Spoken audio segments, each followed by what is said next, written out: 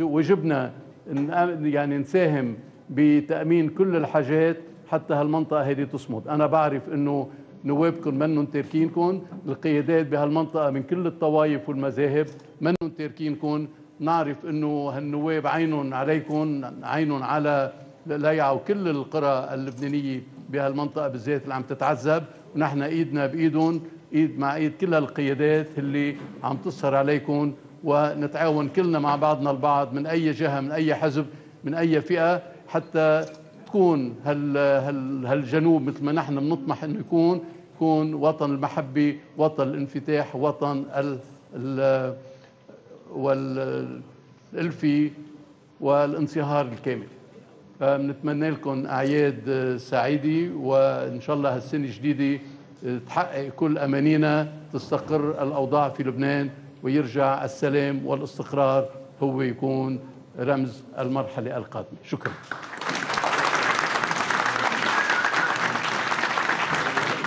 أهلا وسهلا يا فخامة الرئيس. يلا. نحن بدنا نعتذر يا فخامة الرئيس. درع البلدية وقف على الطريق بسبب العناصر اللي عندك. من العناصر تبعها رح نلحقك فيه لفوق رام في آه، هذه الخلوات البياضة. اللي دايما كنا بنتشوق نزورها ودايما بنتشوق نتعظ بتوجيهاتها لأنه ما عم دائما ما عم تنظر إلا للخير ما عم تنظر إلا للسلام ما عم تنظر إلا للوحدة ما عم تنظر إلا لمصلحة لبنان العليا. دائما دائما دائما كنتوا أنتوا ال- في مقدمة العاملين من أجل لبنان الواحد من أجل لبنان السلام من أجل لبنان الاستقرار من أجل لبنان الوئام. فمن هالمنطلق هذا نحن أنا فخور بهالزيارة اللي عم بقوم فيها اليوم. من زمان كنت متشوق أنه إجي أتبرك بهال من هالصرح الوطني الكبير.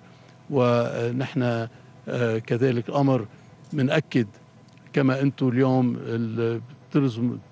ترمزوا للتوح لل- للوحدة كذلك أمر نتأمل أنه هال كل هالجهود اللي عم تبذلوها تنحسب على كل العائلات اللبنانية نرجع كلنا سوا نتوحد نرجع كلنا سوا نتكاتف نرجع كلنا سوا نتآلف نرجع كلنا سوا نتفق على ثوابت وطنية واضحة لأنه لبنان بحاجة لكل طاقاته لبنان بحاجة لكل فئاته بقدر ما توحدنا بقدر ما تكات- تكاتفنا بقدر ما استخلصنا العبر من تجارب الماضي الأليمة بقدر ما فينا نواجه المستقبل وبعتقد المستقبل أولا رح يكون ولو أنه صعب ولو أنه صعب ولو أنه بيتطلب جهود كبيرة مقتنع أنه هالمستقبل ما هو إلا للبنانيين المخلصين هالمستقبل لا يمكن إلا ما يكون زاهر هالمستقبل لا يمكن إلا ما يحقق كل أمنيات الشعب اللبناني بالازدهار بالإستقرار بالوحدة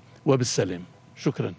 شكرا لك. أهلا وسهلا فخامه الرئيس. الله يخليك. أهلا وسهلا فيك. أفضل. نحن نشكرك كمان على هالثقة وعلى هالحسن الظن ومخصوص بهالبلد حصبية اللي هي اللي هي العيش المشترك المجسد فيها بكل معنى الحقيقة باختلاف طوائفها طوائفها وحزبياتها وبيوتها.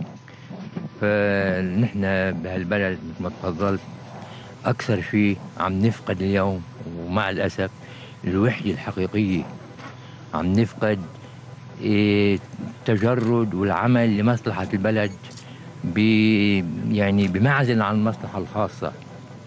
فنتمنى نحن إنه تكون هالزيارة اللي أفضلت فيها لهالمقام الشريف تكون فاتحة عهد جديد لهالبلد لبنان اللي ما بنقدر نعبر عن عن مقدار فخرنا فيه ومقدار حبنا له هذا بلدنا. بس آه، مع الأسف هالايام هذه الله تعالى يغيرها؟ ويحقق ظنك بأنه كل شيء منيح رح يصير واهلا وسهلا فيك فخامة الرئيس. شكرا. الله يخليك. يعني بقدر ما بقدر ما استوعبنا آه، كل هالفكر اللي بينبع من هذا المقر الشريف بقدر ما حقيقة ال- ومشينا بهذا ال- بهدياء بهد- بهدي هال التعليم اللي عم بتنتشر من هذا المقر الشريف بعتقد بنكون حققنا أمنية كل الشعب اللبناني بالاستقرار وبالسلام. يلا شاء الله. الله. شكرا. إن شاء الله.